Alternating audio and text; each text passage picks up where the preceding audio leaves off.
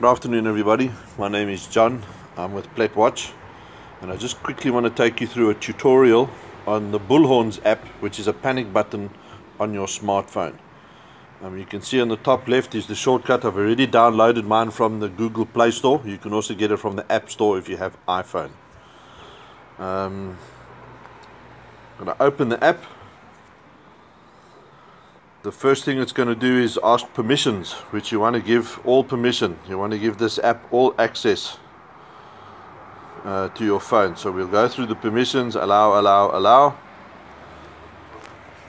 And we're going to go into the, the, the next stage, which is the setup screen. Okay, because it was previously installed on my phone, it's remembering all my settings. But we'll just quickly go through them. You want to put your name and surname. Um, there's mine. Uh, your contact details. So an email and your cell number. Um, further down, you're going to need to pick your country. Um, you'll see there South Africa. Uh, if you scroll down, it's going to ask you to take a selfie. And uh, there I am, smiling. Then we come to the important part. Okay, emergency phone contact. Now, with this option, it's going to give you various options. You can pick um, if you want to use the security company you're currently with, you can. I think it's available for ADT and Prime Security. But if you're in Plettenberg Bay, you can choose the Plet Security option, which is going to contact you, which is going to connect you to the PPCPA control room. Okay. Um, and the PPCPA, the Plettenberg Bay Crime Prevention Association, is a collection of security clusters, uh, all the, the, the, different security companies, neighborhood watches, um, SAPS, etc., um, in Plettenberg Bay that all cooperate together um, to fight crime in Plettenberg Bay. So if you go to the PPCPA control room, that's a good thing. The next one, you're going to have options, emergency SMS contacts. You want to tick that. I would like my emergency contacts to receive an SMS with my location when I activate my panic button. You're then going to go further down and you're going to pick your contacts.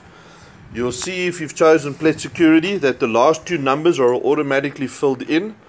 Uh, those two numbers belong to Otto Olivier and Waldo Olivier of Plet Security um, and the PBCPA. So you want to keep those two numbers um, because one of them will always uh, patrolling or on duty.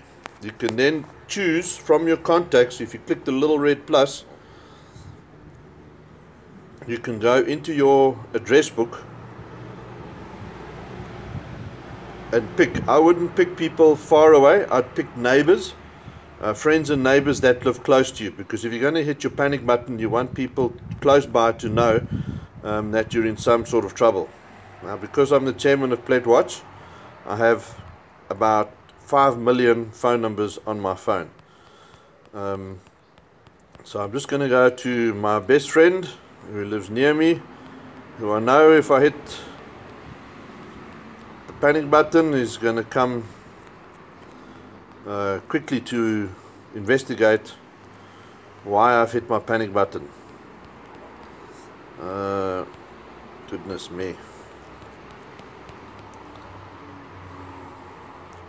That will be Colin Garnett. So there we go. So all my numbers are filled in there. So you add your uh, who you want to be as your emergency contacts scroll further down.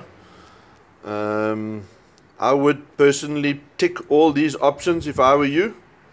Um, you can mute the alerts because what this, this app will do is it will, it will alert you of panic buttons going off near you or of crime in your area. There you can set the radius, uh, select radius in kilometers. Uh, I choose 10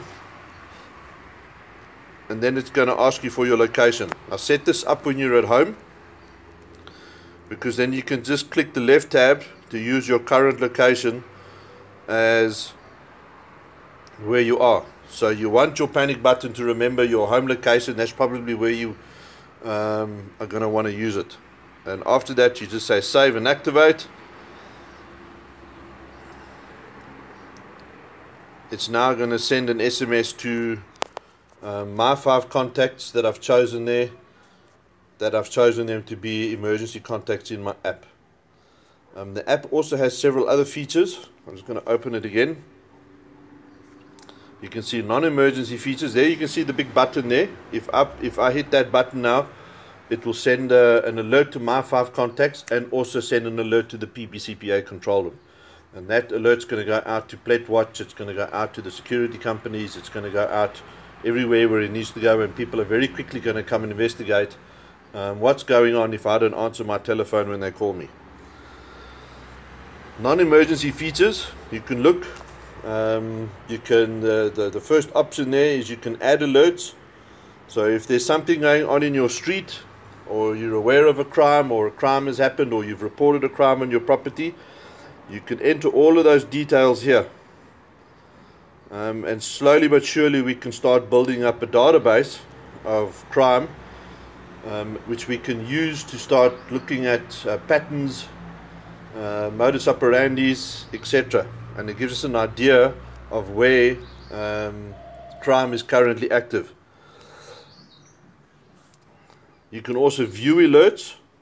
Second option there, I'll open that and it will take me to my current location and I can also have a look at everything that's been reported around me and there you can see all the alerts around where I currently am. So I'm I'm currently in 24 Longships Drive and I can have a I can have a look. If I click on any of those options it's going to tell me what's gone on there. Um, some of them will have photos. Most of them will just have a report and I can get an idea of what's going on around in my neighborhood. Um, the last option is follow me. If I click on that it will send if I'm going into a into a situation I'm not sure about um, and I'm not at home um, or I'm, I'm traveling home and somebody's following me, um, I can I can click that, um, and it immediately will alert the the control room that I'm I'm feeling vulnerable, um, and they'll know exactly where I am. Uh, record audio, you can use that in uh, if you're being pulled over by uh, the traffic police or whatever. You can use that to record um, conversations discreetly what is going on. Okay, um, three buttons at the bottom there that will give you your local fire station, um, medical. You can also program those buttons, I think, to your local medical, fire, and police stations. So there you have um, the Bullhorns app. This is the one we use in Plettenberg Bay. It's another layer of security. Um, have it on your phone uh, keep your phone next to your bed. You can um, especially if you, if you live alone. Um, maybe you can't afford a, a, fancy alarm. This is just another layer of security, another layer of safety that you can have on your phone. Uh, the app is free, doesn't cost you any money. Please download it from the App Store or from uh, Google Play. Um, set it up as I've shown you there. Hope this helps. Thanks, everybody. Take care.